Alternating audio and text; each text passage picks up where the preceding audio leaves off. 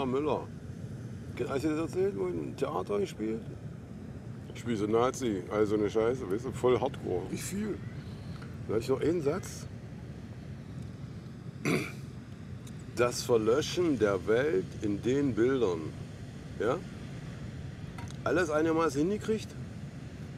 Und dann muss ich mal auf die Bühne und dann wollte ich den Satz sagen. Ich, stand, ich hatte vor den Regisseur gefragt, was das bedeutet. Ja?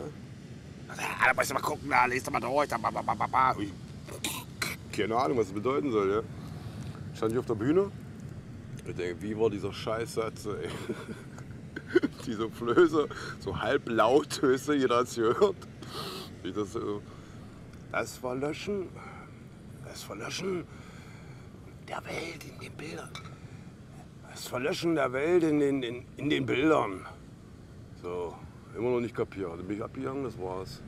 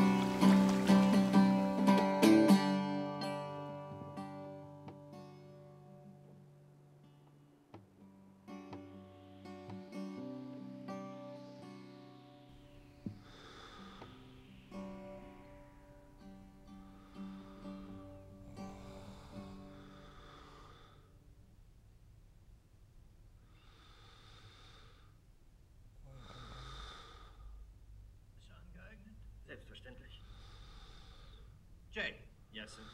wie oft haben Sie Chris bisher gesehen? Weiß nicht genau. Auch nur einmal so oft. War er jemals so gekleidet? Nein. Nein, Anzug, Krawatte. Immer Klassenerster.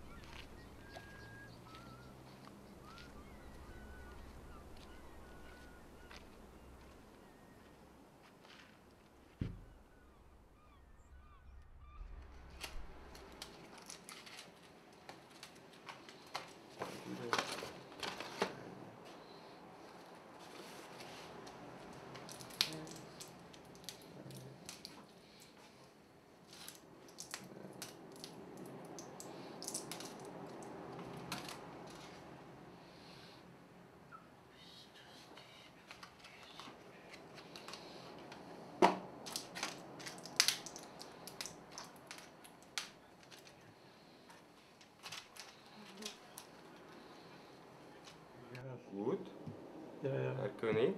ja, ja, eben, eben. Hier sind die Medizin. Ja. Bitte schön, nehmen Sie ein. Ja. Ich gebe das zum Mund. Essen Sie das? So, gut. Und jetzt ein Schluck Tee.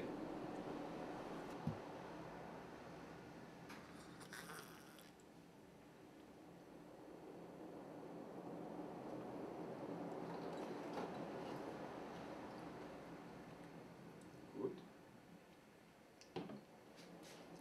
Das ist halt ein Spiel, verstehst du? Mehr oder weniger. Nehmen die Sache, die weit. Das ist was Schönes dabei sein soll. Ich erinnere mich gerade an ein Gespräch, was wir mal vor vielen, vielen Jahren hatten. Damals war ich, glaube ich, zehn Jahre alt und deine Mutter, unsere Oma, meine Oma ist gestorben. Und es war das erste Mal, dass ich dich weinen gesehen habe. Und als Zehnjähriger habe ich natürlich versucht, äh, dich irgendwie zu trösten. Und dann waren meine Worte an dich gewesen, wenn ihr mal alt seid, dann werde ich mich um euch kümmern. Da braucht ihr euch überhaupt gar keine Sorgen zu machen. Und äh, du warst zwar, du warst in dem Moment noch ein bisschen am Weinen, aber in, äh, als, ich, äh, als, ich, äh, als ich dir dieses äh, Angebot machte, hast du kurz aufgehört zu weinen und fingst an zu lächeln und sagtest zu mir, Sohn, Hat war Angst. ein Vater kann zehn Kinder ernähren, aber zehn Kinder können keinen Vater ernähren. Das hast du mir mal vor vielen, vielen Jahren gesagt und das, äh, an diesen Spruch erinnere ich mich natürlich äh, fast jeden Tag heutzutage. Ja. Ja. Und die Frage ist wirklich berechtigt, geht es, äh, geht es auch überhaupt darum? Ja. Geht es überhaupt darum? Tu mich nicht so, wie du in allen Dingen, was getan wird. Und die können das.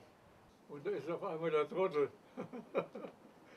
so, ja, die, die Winter, das habe ich selber als kleiner Bub ge- gelernt. Ich bin ja schon damals gewesen.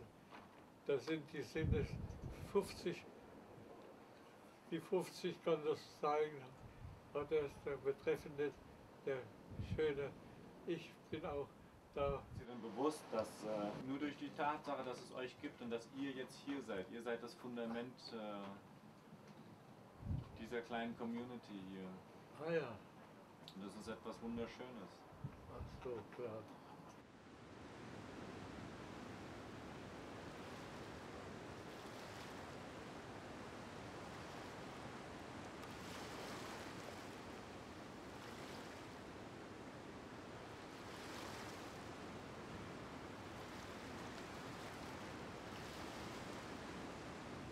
Also kommst du irgendwie auf die Welt wieder? Weil du irgendwie mal, keine Ahnung, was verloren hast oder irgendwas noch gut machen willst, so, oder irgendwas. Und das regelt sich so in einem Augenblick. Eine Begegnung, irgendwas, egal. Und wenn du da nicht aufpasst, dann ist der gerade vorbei. Und dann musst du wieder auftauchen. Deswegen muss man immer aufpassen, wenn der kommt.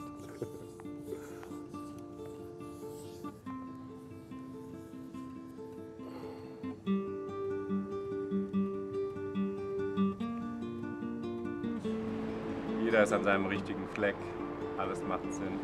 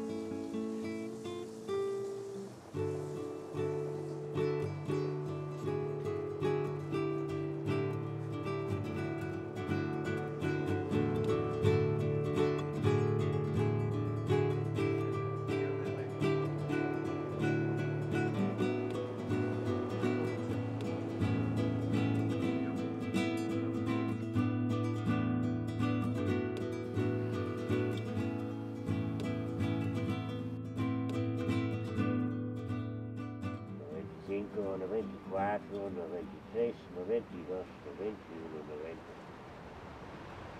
89, 88, 87, 86, 85, 84, 86, 82, 81, 80.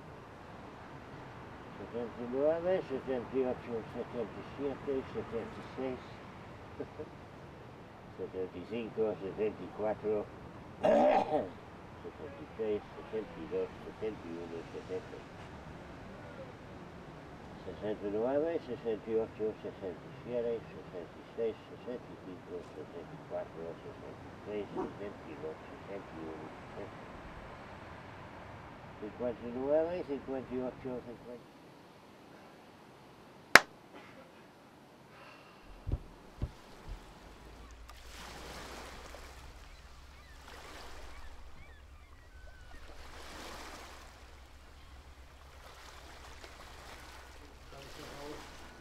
The response. Oh, come back, come back. It's also a bifocal. Just turn the onion. Yeah.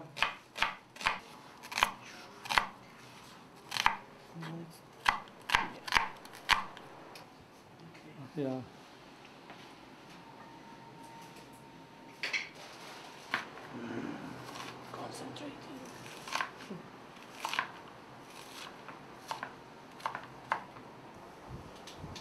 Weiter habe ich noch nicht, nicht welche Leute.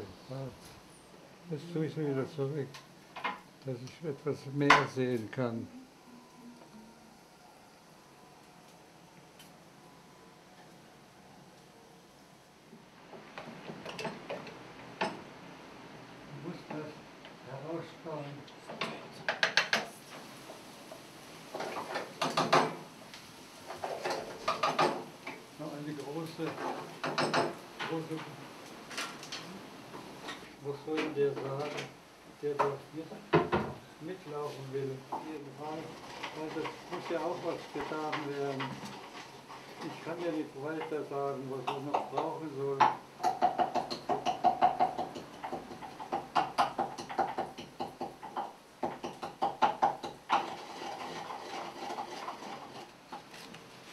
Ich kann es umdenken. Ja?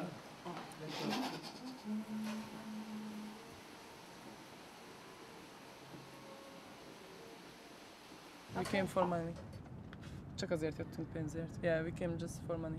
To Und save Welt, money. Welt sehen. Yeah, Belgian also, but uh, we had a plan to. It was doesn't matter that in the Netherlands or Germany or somewhere, but we want to go abroad to earn more money because in Hungary it's impossible, absolutely impossible.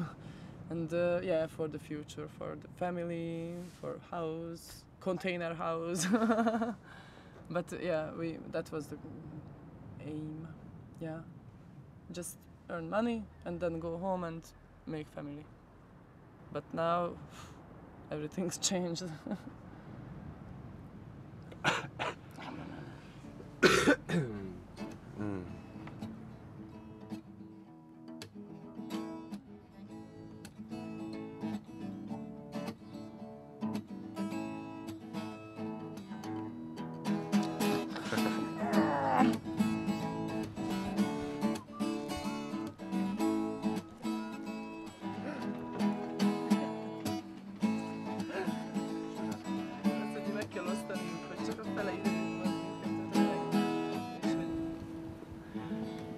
Love is the paradise. Well, paradise could be everywhere. I think so because it's inside.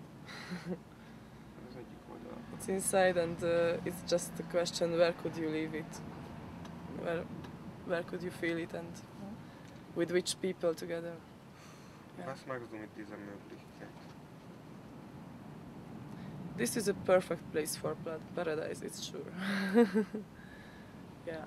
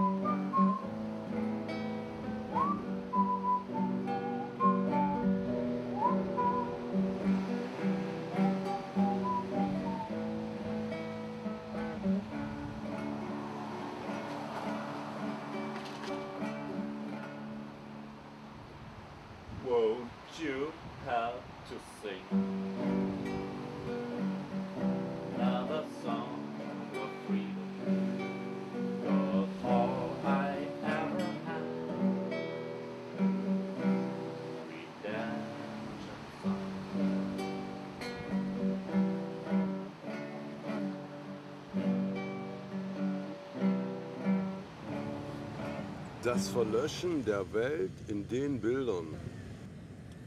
In jedem Bild siehst du das Gleiche. Sterben, Tod, Verzweiflung, Liebe, immer dasselbe. Im Bild. Das sagt das, glaube ich.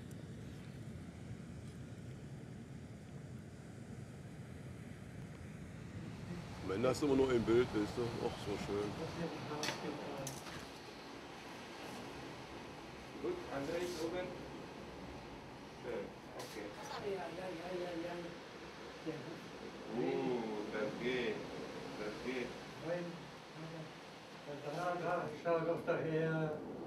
Komm doch, schau. Ein Moment geduldig, Herr König. Schau daher. Ja. Diese gehen wir doch nach oben. Ein Moment, Die Herr Schwabe König. nach oben.